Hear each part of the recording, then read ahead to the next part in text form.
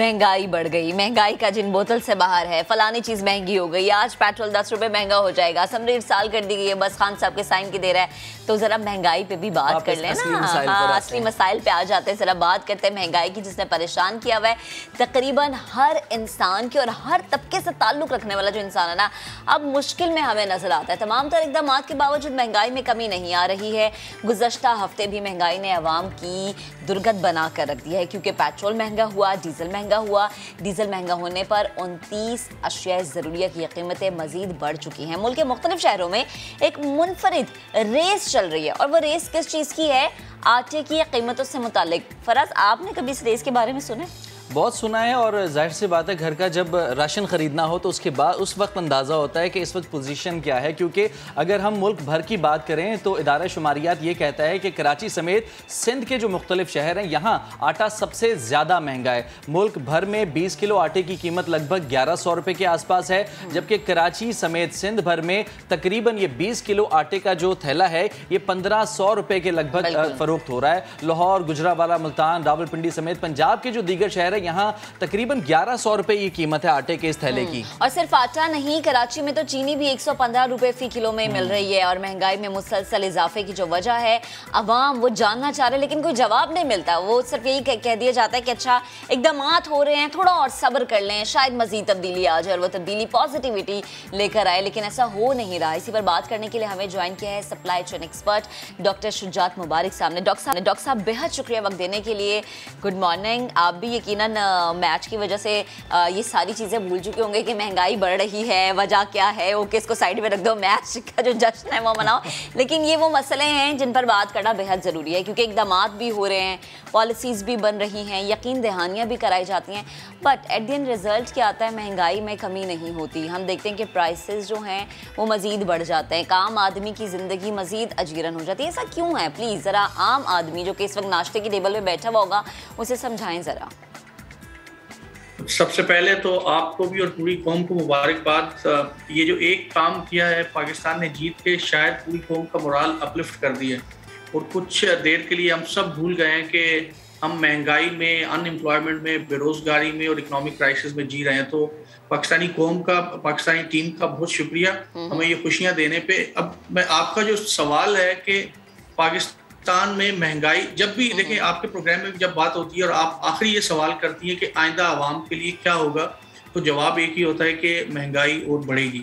तो इसकी हम्म। वजह क्या है? कब क्या कभी ऐसा क्यों नहीं होता कि हम लोग ये कहें कि महँगाई आइंदा कम होगी? मैं आपको थोड़ी सी रीजन बता देता हूँ। ये वीट हम्म। के फ्लोर के हवाले से देखें जो आटा है बिलखसूस के आटे की कीमत में इजाफा क्यों होता है यहाँ पे कमी क्यों नहीं होती? थोड़ा सा आप इसकी जो बिज़नेस अफेयर्स ये जिस तरह से चलते हैं आप थोड़ा समझ लीजिए। कि पाकिस्तान वो मुल्क है जहाँ पे हमारी गंदम हमारी तकरीबन ज़रूरत से ज़्यादा हम प्रोड्यूस करते हैं और एक्सपोर्ट। भी करते हैं। तो नॉर्मली जो मुल्क दुनिया में गंदम एक्सपोर्ट करते हैं वहाँ पे फ्लोर की आटे की प्राइसेस बहुत ही कम होती हैं। बल्कि यहाँ तक कहा जाता है कि उसके प्रॉफिट मार्जिन वन परसेंट से टू परसेंट थ्री परसेंट तक प्रॉफिट मार्जिन होते हैं।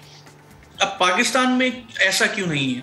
देखिए, जो बुनियादी सबसे पहला मसला है, जब जैसे ही हमारी वीट की हार्वेस्टिंग होती है, गंदम की कटाई होती है तो किसान को बेचारे को अपनी गंदम बेचने के लिए हाथ जोड़ने पड़ते हैं फ़ूड डिपार्टमेंट को कि ये हमारी गंदम खरीद ले और उन रेट्स पे खरीद ले जो गवर्नमेंट ने रेट मुतन किए हैं। और गवर्नमेंट के ऑफिशियल्स प्रॉपरली उनको ब्लैकमेल करते हैं अपने थर्ड पार्टी मिडल मैन के थ्रू वो मिडल मैन सस्ते दामों उनसे गंदम परचेज करके फिर वो गवर्नमेंट को फिर महँगे दामों बेच रहे होते हैं। अब यहाँ पे एक और बड़ा इंपॉर्टेंट चीज़ है कि आपको हैरानगी होगी ये सुन के कि वो गंदम जो 40 किलो की होती है उसको पानी लगा के 100 किलो उसका कई दफ़ा दुगना तीन गुना उसका वज़न बढ़ा दिया जाता है। ये मैं बिल्कुल मैं बड़ी आ, आ, ये बात कैटेगोरिकली कह रहा हूँ मैंने ये चीज़ें खुद देखी हैं हम्म। और ये चीज़ें हो रही हैं कि गंदम की अगर आपने 40 केजी का एक गंदम की बोरी खरीदनी है या 100 केजी की खरीदनी है उसमें पानी उसको लगा दिया जाता है। पानी लगा के उसका वज़न बढ़ा के 150 केजी 130 केजी कर दिया जाता है। जब और ये तकरीबन 30 40 परसेंट गंदम की बाइंग में हो रहा है all over the Pakistan Sindh में नहीं है पंजाब में भी है और हर जगह पे हो रहा है। हम्म। अब ये जो पानी लगी हुई गंदम जब गोडाउन में आती है गोदामों में आती है तो सबसे पहले तो ये इसकी क्वालिटी पे कॉम्प्रोमाइज हो जाती है। ज़ाहिर है कि जब उसको स्टोर करेंगे तो तरह तरह के इश्यूज़ वहाँ पे क्रिएट हो जाएँगे। उसके बाद इस गंदम के अंदर जो क्वालिटी होती है बिलीव में कि इसके अंदर मट्टी भी शामिल होती है हम्म। पता नहीं क्या क्या चीज़ें शामिल होती है जब गंदम को बाय कर रहे होते हैं। अब ये गंदम जाती है फ्लोर मिल को आटा बनाने वाली आटा पीस जो गंदम को पीस के आटा बनाते हैं उन मिलों को ये गंदम आगे दी जाती है। जब ये वहाँ पर जाती है तो फिर अगेन एक सिलसिला शुरू होता है। स्टोरेज की तो अभी आप बात भूल जाएँ कि जो गवर्नमेंट गंदम किस तरह स्टोर करती है खुले आसमान तले गंदम पड़ी होती है उसके ऊपर कोई जो तरपाले हैं कोई भी चीज़ स्टोरेज की नहीं होती। बिलीव नहीं कि मेरी महकमा फ़ूड के लोगों से बात हुई। उन्होंने कहा कि हम हाथ जोड़ के कह रहे हैं कि खुदा के लिए हमें वो जो तरपाले इसके ऊपर डालते हैं गंदम पे वो हमें दे दें हमें कुछ गोडाउन थोड़े अपग्रेड कर दें हम्म। क्योंकि जो हम गंदम खरीदते हैं पहले ही उसकी क्वालिटी इंफीरियर होती है और जो जब ओपन आसमान तले पड़ी रहती है तो और उसमें मुसीबत हो जाती है। अब ये गंदम जब फ्लोर मिल में जाती है क्वालिटी को तो भी छोड़ दें। फिर एक नया मसला शुरू होता है कि आटा वो अपने जो मनमानी जो अपने पसंदीदा लोग हैं उनको वो गंदम इशू करते हैं मनमानी रेट पे एक नेगोशिएशन के तहत। और फिर जब ये आटा बनता है फिर वो फ्लोर मिल वाला आटे वाला फिर गंदम इसको आटे को पानी लगाता है। आप हैरान होंगे कि वीट की सप्लाई चेन के अंदर पानी का कितना अमल दखल है। अब वो फिर उसको पानी आटे को पानी लगा के जो 40 के का बैग होगा उसको 60 के जी का अस्सी के का करके यूटिलिटी स्टोर को बेचेंगे उधर बेचेंगे और अवाम के पास ये जब वो गंदम आती है तो उसको मिल नहीं रही हो हम्म। आटा मिल नहीं रहा, रहा होता और जो वो मिलता भी है तो उसकी क्वालिटी इतनी इंफीरियर होती है कि मैं आपको दावे से कह सकता हूँ कि आप पाकिस्तान का हेल्थ डिपार्टमेंट रिसर्च जाके कर ले पाकिस्तान में बहुत सारी बीमारियों की एक बड़ी वजह हमारा इस्तेमाल होने वाला आटा है तो जब तक हमारा फ़ूड डिपार्टमेंट की पूरी सप्लाई चेन ठीक नहीं होगी, जब तक गंदम की बाइंग स्टोरेज फिर issuance to the to the flour mill और फिर फ्लोर मिल से जब कंज्यूमर तक आता है, ये पूरी सप्लाई चेन जब तक ठीक नहीं होगी, हमारा गंदम का या ये पूरा मसला आटे का हल होने वाला नहीं है। ठीक सप्लाई के इश्यूज़ हैं स्टोरेज के इश्यूज़ हैं टेम्परिंग के इश्यूज़ हैं क्वालिटी के इश्यूज़ हैं ये तो गंदम की बात है। लेकिन आ, कराची की अगर बात की जाए तो यहाँ गंदम के अलावा आटे के अलावा सब्ज़ी हो दालें हो मुर्गी हो गाय का गोश्त हो ये सारी चीज़ें बहुत महँगी होती जा रही हैं। ऐसे में ख़रीदार एक आम आदमी वो क्या सोच रहा है? ये जानने की कोशिश की है खुर्शीद आलम ने इस रिपोर्ट में। वो दिखाते हैं पहले आपको। मुर्गी का गोश्त साढ़े चार सौ रुपये गाय का बैल का गोश्त साढ़े आठ सौ रुपये और बकरे का गोश्त हो गया चौदह सौ रुपये फ़ी किलो।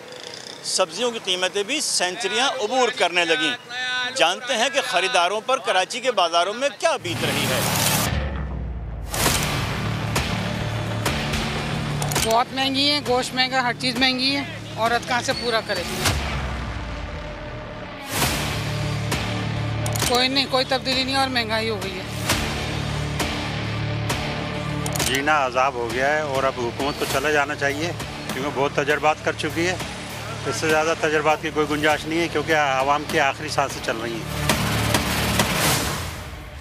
बेरोज़गारी दिन ब दिन बढ़ रही है महँगाई जो है वो आसमान पे जा रही है। रोज़ बरोज़ इजाफा ही होता जा रहा है। जब निकलते हैं रोज़ाना कोई नई खुशखबरी सुनने को मिलती है। आज इस पर बढ़ गए आज उस बढ़ गए। मुर्गी तो पहुँचते ही बाहर हो गई। सिर्फ़ सोच सकते हैं देख के खुश हो जाते हैं। या फ़ोटो खिंचवा लो मुर्गी के साथ खड़े हो गए।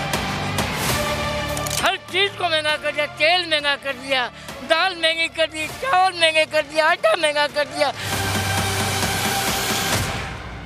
सब्ज़ी हो, गोश्त या फल, कीमतें ऊपर से ऊपर की तरफ़ जा रही हैं और जिन सरकारी अफसरान की ज़िम्मेदारी कीमतों को कंट्रोल करना है, वो बाज़ारों में नहीं आते। ख़रीदार कहते हैं, गुजारा मुश्किल हो चुका।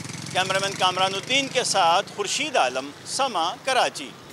तो ये सूरत हाल है अब मुल्क भर की शहर भर की हर चीज़ महँगी होती जा रही है कुत ख़रीद से बाहर होती जा रही है। डॉक्टर साहब ये आ, ये बताइएगा प्राइसेस जो बढ़ रहे हैं पेट्रोल के दाम बढ़ने से डॉलर की वैल्यू में इजाफा होने से क्या ये रीजंस हैं महँगाई के या फिर इसके अलावा कोई और रीजंस हैं?